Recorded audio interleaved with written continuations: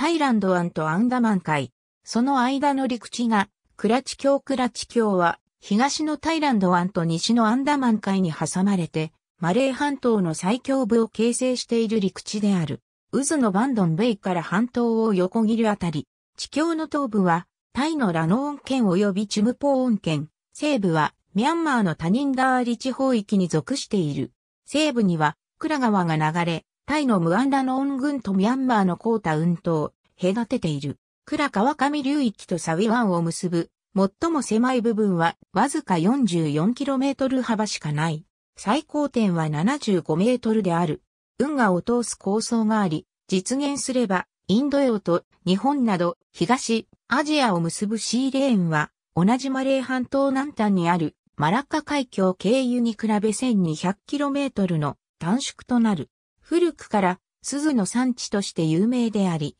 東西交通の要衝である。クラ運河を含む運河計画この地域に運河を通す構想が立てられることが昔からしばしばあった。初めて運河建設が言及されたのは1677年であり、その目的は太陽国からビルマまで船で物資を輸送する際、マレー半島周りよりも短いルートを建設することにあった。フランス人技師チームに調査を依頼したものの、当時の技術力では、その計画はあまりに非現実的であった。1793年にはアンダマン海側の防衛を太陽国軍がより簡単に行えるようにするためにと、ラーマ一世の弟が計画して一時見直されることもあったが、計画は実現しなかった。19世紀初期には、イギリス東インド会社が運河建設に興味を持った。そこで、倉川川口付近から反対側にあるイギリス植民地付近まで探査が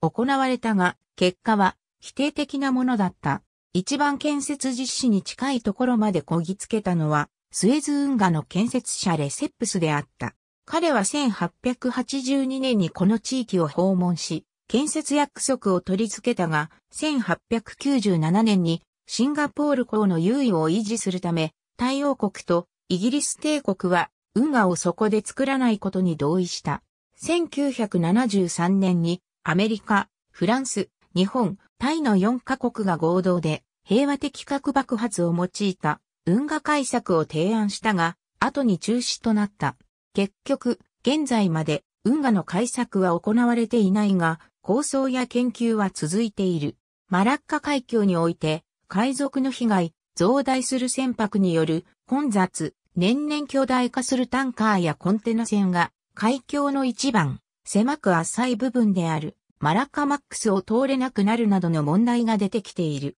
その対策として、再び、クラチ橋に運河やパイプラインや鉄道を建設する計画が持ち上がっている。また、マレーシア国境近くのソンクラー県付近を運河建設場所とする計画もある。クラ運河が開通すれば、東南アジアにおけるシンガポールの重要性が薄れるため、この計画を歓迎しない華僑、家人がかつて多かったが、21世紀になってからは中華人民共和国が後押ししている。2001年には、親中国のタクシンチナワット政権下でタイと中国の団体が調査を行い、2005年に国民議会上院が構想推進を承認。対軍事クーデター後の2015年、対王国国軍元高官が代表を務める経済団体に中国の北京大学が作成したとされる運河計画についての報告書が、大化人経由で持ち込まれ、大運河協会が設立された。2018年時点の構想では、タイランド湾岸のナコーンシータンマラート県と西部のトラン県を結んで、全長 135km、幅350から400メートル、水深30メートルの運河を約480億ドルで開削し、残土で人工島を造成するとされている。ありがとうございます。